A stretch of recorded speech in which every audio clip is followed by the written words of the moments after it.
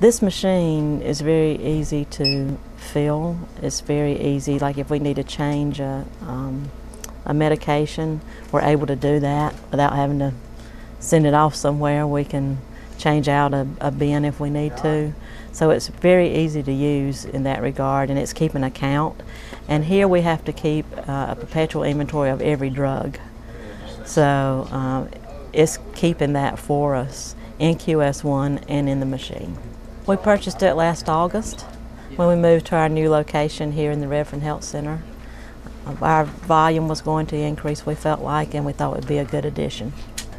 When we added the machine, we were changing our whole operation at the same time. So we went from a pharmacy that did not fill prescriptions on insurance to a pharmacy that did fill prescriptions on insurance. So that would have totally changed our whole operation. So I think by having the machine, it made that much easier. So our technicians are doing data entry, and when they are doing that, there's no one left to fill the prescriptions um, with the pharmacist checking. So the RxMedic does our filling for us. So that leaves the technicians to do data entry, get the prescription through insurance successfully. Then all the pharmacist has to do is pick the bottle up from the machine and check it.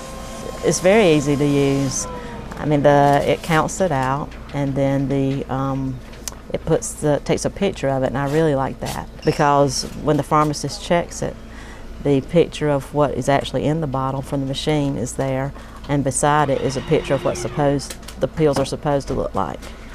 People, if they get three, four prescriptions, sometimes they might come back and they say, "Oh, well, this is in this bottle, and this is in this bottle, and y'all got it mixed up or something."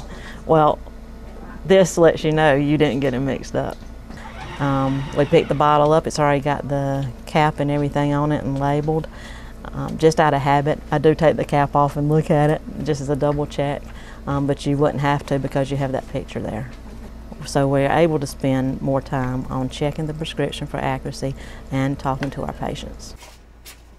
When you put the, um, the medication in the machine, you set a warning label a warning level rather. And if you pay attention to that warning and fill it up then and don't allow it to get so low, then then you won't have that issue of it not counting when it because if the pills are so low then they can't they can't count. There's a good reason for that warning level.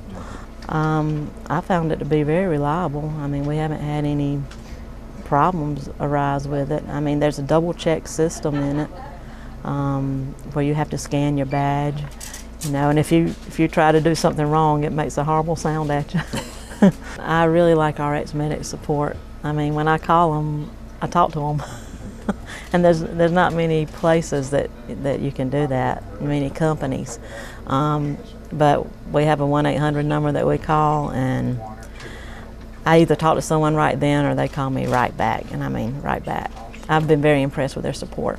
They, they have a camera, a little video camera, and so you can take that little camera and show them exactly what you're trying to do. And then they can tell you what you're doing wrong and, and help you get it going. We have to replace labels sometime. That's actually pretty easy to do. We aren't real good at it. We don't do it that often. but, but if we have trouble, we call the help desk. It allows us to have more time because the pharmacist isn't having to, to fill and we don't have a technician to fill, so it's taking the place of that technician. So we're able to, it just takes less time. We aren't doing the, what they used to call um, pour, lick, stick uh, function anymore.